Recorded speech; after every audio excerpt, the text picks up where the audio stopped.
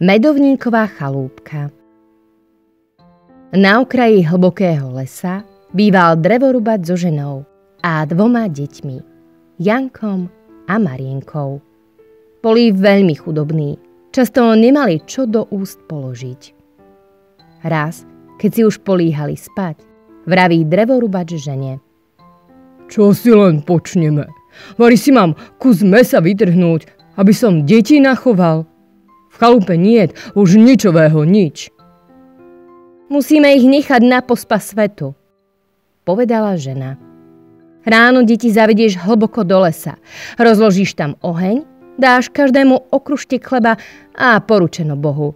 Nech si sami poradia. Muž sa priečil, nechcel ženu poslúchnuť, ale napokon uznal, že tak bude hádam najlepšie. Janko s Marienkou sa však pod prínou vrteli. Od hladu zaspať nemohli. A tak všetko zvedeli. Marienka sa zaraz do plaču pustila. Nepláč, sestrička, neboj sa, veď my si spomôžeme. Tíšil ju Janko. Chlapec si rýchlo natiahol gate a vykradol sa na dvor. Do vrecák si nakládol kamenia, čo sa aj v noci ligoce. Potom potichúčky Klzol nazad do postele, utešil Marienku a obaja zaspali. Zavčas rána vydurila mať deti z postele. Dosť ste sa naspali, vraví im. Tátko už na vás čaká, že mu v hore pomôžete. Každému dala hodný krajc chleba a poslala ich statkom do hory. Choďte a urobte všetko tak, ako vám otec povie. Nakazovala im – hoci jej srdce zvieralo od žiaľu. Kto vie, kedy vás ešte uvidím, deti moje dobré, myslela si. Keď už Janko cestu domov strácal, začal z vrecák opatrne spúšťať kamienky. Že sa aj jednostaj dozadu obzeral, spýtal sa ho otec, čo toľko hlavu obracia. Vyzerám svoju bielu mačičku, zacigánil Janko. Vidí sa mi, že sa tamto na našej streche vyhrieva. A otec mu na to.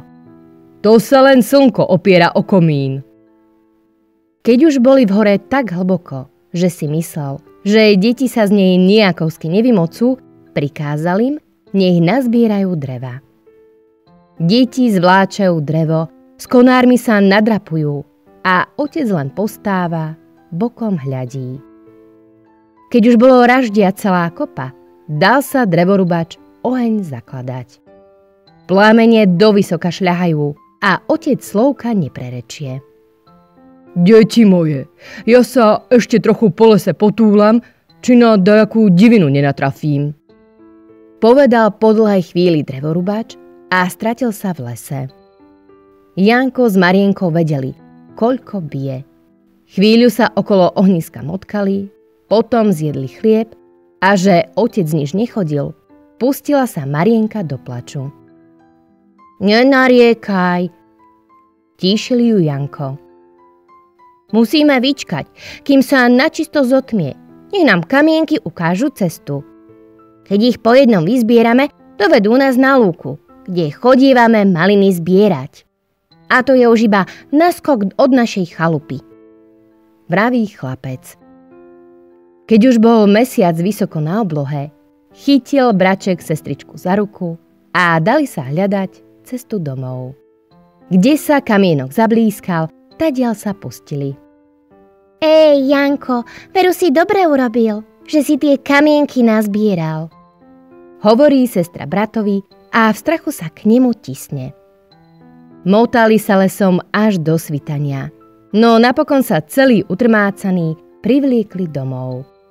Keď sa zjavili na Prahu, drevorubať so ženou sa zaradovali, že sú doma a hoď ich aj bieda tlačila, zasa bolo chvíľu dobre. Jednej noci však Marienka začula, ako mamka šťuchá tatka a nahovára ho, aby deti ešte hlbšie dole sa zaviedol. Už máme len pol bochníka. Nech sa o ne zver postará, keď my nevládzeme. Šepkala. Vyčkajme ešte. Hádam sa Boh na nami zľutuje. A čo si zarobím? Spieral sa muž. Zajtra pôjdem s tebou, veď aj mne je ťažko. Radšej ich nemám na očiach, keď budú pýtať jesť. Dala sa do plaču drevorubačka. Len ich musíme hlbšie do lesa zaviesť, hádam už potom nenájdu cestu domov. Keď rodičia pospali, zobudila sestra brata a rozpovedala mu, čo počula. Braček, zase nás do hory zavedú a tam nás nechajú. Čo ak tento raz cestu domov nenájdeme? Vzdychala Marienka. Diviak nás podupe, vlk dohryzie, vtáci oči vyďobú. Horekovala. Janko vstal, že nazbiera kamienky, ale dvere boli zamknuté. Neboj sa, sestrička, no ako už bude. Utešoval Janko vyľakanú Marienku a aj keď v strachu, napokon deti zaspali. Zavčas rána ich mamka durí z postele. Ideme do lesa nazbierať raždie.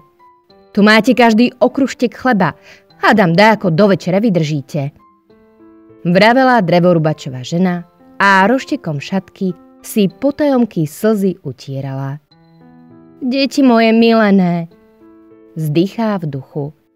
Či vás zver v hore roztrhá, alebo si daj ako sami poradíte čo ako nešťastnej materi srdce zviera volá deti do hory. A Janko po ceste omrvinky z chleba odhadzuje, že podľa nich cestu domov nájde. Janko, čo sa jednostaj obzeráš? Napomína ho otec. Ach, len svojho holúbka vyzerám. Vidí sa mi, že si na streche pierka čistí. Povedal Janko a ďalej ukradomky dozadu hľadí. To nie je nejaký holub, to sa iba slnko o komín opiera. Zašomral otec a viedol deti ešte hlbšie do lesa. Tam aj s mamkou rozložili oheň. Ľahnite si k ohnisku, káže drevorubač deťom. My s mamkou ideme do lesa raždia nazbierať. Vy tu čakajte, kým sa nevrátime cigánil a zmizol aj so ženou medzi stromami. Marienka s Jankom si zajedli chlebíka a potom unavený a ustráchaný pri ohnisku pospali. Keď sa zobudili, bola hlboká noc. Mesiac striebril listy na stromoch a stebielka trávy. Lúčne koníky v jeho svite tancovali na lúke, stromy šuchotali lístím a sova húkala z búdľavého buka. Marienka sa nočného vtáka naľakala. Janko, nože pohľadaj cestu domov. Prosila Marienka brata. Ja hádam od strachu zahyniem. Neboj sa, sestrička, ľako ju nájdem. Veď som ja celý môj krajec rozdrobil. Tešil ju Janko. Darmo však Janko omrvinky hľadal. Darmo oči vypliešťal. Vtáci už chlebík dávno vyzobali. Deti sa túlali lesom, hľadali cestu, no len čo sa ešte väčšmi zamotali. Už ledva nohy vliekli, od hladu sa im tmelo pred očami, keď naďabili na chalúbku. Steny mala z voňavého chleba, strechu z medovníkov a obloky z bielučkého cukru. Janko nelenil, hneď odlomil kus zo strechy a priniesol medovník sestre. Tu máš, Marienka, najed sa. Hádam sa už všetko na dobre obráti. Núka sestru. Tá nečakala a s chuťou si zahryzla. Jaj, braček, pochvaľuje si. Aj ty si zahryzni, takú dobrotu si ešte nejedol. Konečne sa nám pošťastilo. Ja sa už odtiaľto nepohnem. Odlom mi ešte kúsok. Prosí Janka a tomu netreba viac povedať. A znovu sa škriabe na strechu. V tom sa rozleteli na chalúbke dvere a starena, Ježibaba, už kričí na deti. Odkiaľ, že ste sa tu vzali? Sem už roky nezablúdila živá duša. Zles, mládenček zo strechy, nenič mi chalúbku volá na Janka a milo sa tvári. Nech sa páči, detičky moje. Len poďte ďalej, dobre vás pohostím. Deťom sa starená nepozdávala, ale keď im hory doly sľubovala, vošli za ňou do chalúbky. Ježibaba hneď stôl prestrela, jedla od vymyslu sveta poznášala a jednostaj deti vynukuje. Jedzte, holúbkovia, veď ste ako trlice vychudnutí. Len si dajte, nech sa vám líčka vydúvajú. Hrekútala. Ja mám deti rada. Zalizuje sa striga. Dávno sem však už niekde nezablúdil. Keď sa deti najedli, baba im odoslala dve postele. Dobre sa vyspite. Škerí sa na deti. Istotne ste len v lísti prespávali, kým ste po lesoch blúdili. Janko a Marienka zaspali, ako by ich do vody hodil. Lenže starená na jazyku med a v srdci blen. Ha, ha, ha, ha. Smeje sa do hrsti. Už som dávno mladé mesko nejedla. Chlapec je samá kosť a koža, no veď ja si ho vypasiem. Chichúnela sa starena, celá naradovaná, že sa tak ľahko ku koristi dostala. Mládenček sa už dosť naspal. Hundrala, keď kohút hrta nadúval, že ohlási ráno. Mám ja pre ňo mekšiu posteľ. Na tej nech dospáva. Baba preniesla Janka spánku do železnej klietky a tam ho zamkla. Potom zatriasla Marienkou. Hej, ty lenivá hlupania, marš do kuchyne. Uvarda čo dobré pod zub. A nech ti to väčnosť netrvá. Vrieskala Ježibaba na dievča, ba ešte ho aj dobre vybuchnátuje. A kdeže je Janko? Starostila sa Marienka. Tam, kde patrí. Zvrieskla Ježibaba. Do železnej klietky som ho zavrela. Nech sa mi pod nohami nemotá. A ty urob, ako som ti kázala. Čo malo chúďa robiť? Marienka si opásala zásteru a kuchtila, ako vedela. Ježibaba nosila Jankovi najlepšie kúsky, aby čím skôr stučnel. Veď mi len povedz, mládenček premilý, čím ťa najlepšie uhostím? škriekala a Janko, nič netušiac, si samé dobré pokrmy rozkazoval. Marienke sa ušli iba obrizené kosti a odpadky, čo inak kocúr chrúmal. Po týždni musel Janko vystrčiť prst, či už dosť tučnel. Ach, bosorka, teda takto sa veci majú, pomyslel si chlapec. Veď ty ma na tú pečienku chováš. Prešibaný chlapec rýchlo prestrčil cez mreže drievko. Ježibaba už bola poloslepá.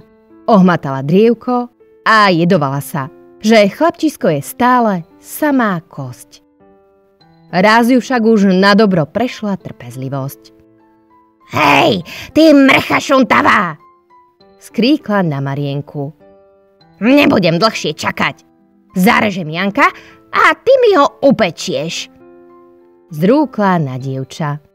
Smutná Marienka navláčila vody a čakala, čo bude ďalej. Och, Janko, brat môj milený, už nám je amen. Radšej sme mali lístie žuvať, ako tie medovníky hrísť. Zdychá Marienka a nemá potuchy, ako bratovi pomôcť. Stará dobre rozkúrila pec a keďže bola skoro slepá, zavolala na Marienku. Poď sem, vlez do pece a pozri, či je na chlebe upečená kôrka. Dievčaťu svitlo, že aj ju chce starená upiecť. Nikdy som do pece neliezla. Začala sa vykrúcať. Ukážte mi, tetuška, ako sa to robí. Starená sa terigá do pece, že to tej ťarbani ukáže. Dievčisko nepodarené! šomre. Na nič nie si súce! Hundre ako do tej pece lezie. Marienka nemeškala. Rýchlo schytila kutáč a čo mala sily, tresla Ježibabu po chrbte. Tá bola razom v plameňoch. Potom Marienka pozľadúvala kľúče a bračeka z klietky vyslobodila. Janko sa jej dal ďakovať, že mu život zachránila a oboch od strigy oslobodila. Braček so sestričkou potvárali truhlice a nabrali si vzácnych kameňov a perál, koľko vládali uniesť. To sa mamka s tatkom zaradujú, keď toľké bohatstvo uvidia. Tešila sa Marienka. Potom toľko hľadali cestu domov, až ju našli. Ej, ako sa len drevorubač potešil, keď videl dávno oplakané deti. Žena sa už tej radosti nedožila. Pominula sa od žiaľu. Tí traja si potom žili, biedu a hlad viacej nepoznali a ešte aj iným z toho šťastia ocipali.